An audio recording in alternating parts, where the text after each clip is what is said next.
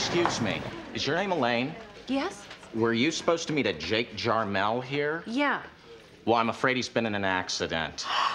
An accident? What happened? Well, he got sideswiped by a cab, but he's all right. He's in St. Vincent Hospital, room 907. Oh, okay, thank you.